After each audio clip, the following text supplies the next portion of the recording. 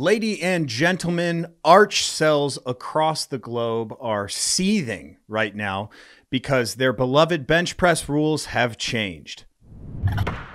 For those of you who don't know and, and don't know much about powerlifting, uh, the arch is a technique used so that powerlifters can lift as much weight as they can in the bench press. Now, what we've seen over the years is an egregious arch that minimizes range of motion to only just a few inches. Here's a nice little compilation of some of the best arches.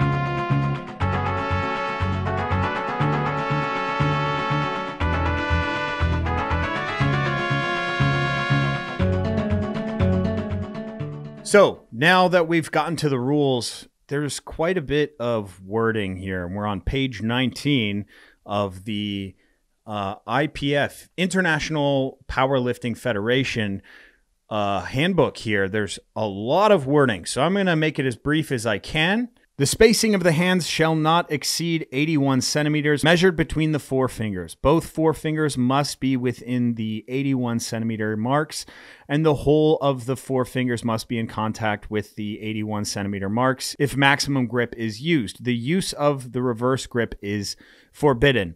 Now, this is where we saw the biggest issue uh, before the change. No matter what the weight class was, we had people going max grip. So then we'd have completely limited range of motion.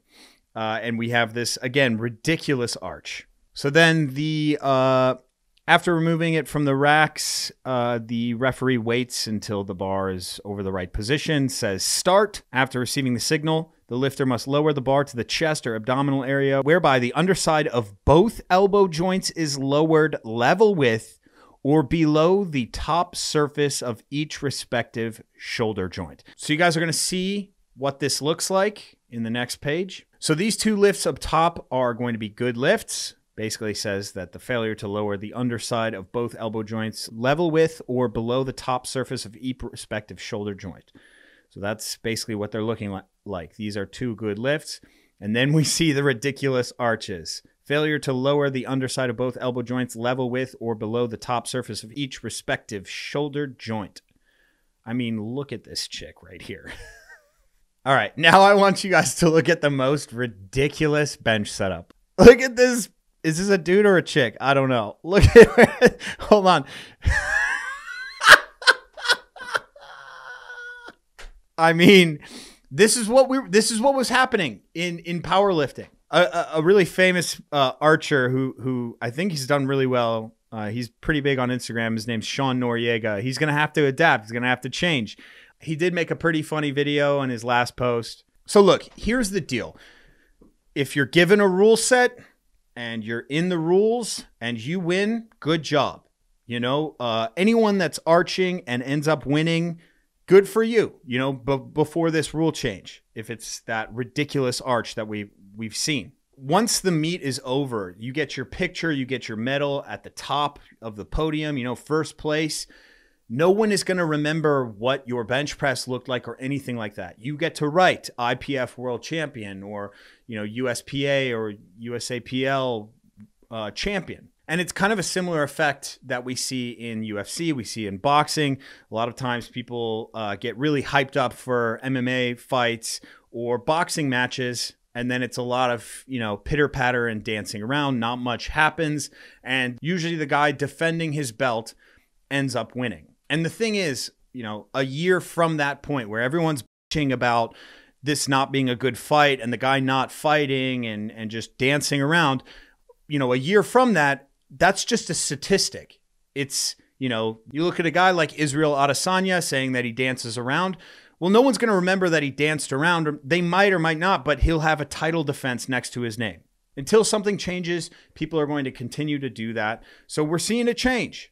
The second point to that is no matter what the rules are, the winners find a way to win. The gamers find a way to game. you know, I, I know everyone rags on CrossFit, but there's one thing I actually like about it. It's that it is kind of a shit show.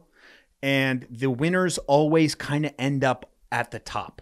No matter how much CrossFit HQ fucks up with their programming, with the way that their events are scheduled, it's just these gamers end up finding a way to game. And, you know, Sean Noriega, he's a guy who's really good at, at, at bench pressing with the arch I guarantee you he's going to fix his posture. He's going to fix all these things and he's going to train his ass off and he's going to fight to do just as well as he could. He was given that rule set. Now he's given this rule set and he's going to do what he needs to do. We can complain about rule sets and all of these things, but at the end of the day, it's the guy or girl who goes out there and just gives it their all, no matter what the circumstance is, uh, and and finds a way to get it done. So look, for a lot of you guys, this doesn't matter.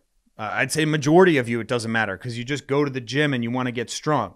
But it's I find these types of conversations very interesting, right? Because we we do movements like uh, the bench press, the deadlift, and the squat to make ourselves strong, and then we see who is the strongest, and then we find these ways to lift more weights. But does that really prove who has more power, who has more strength overall, who has more general fitness, all these different things.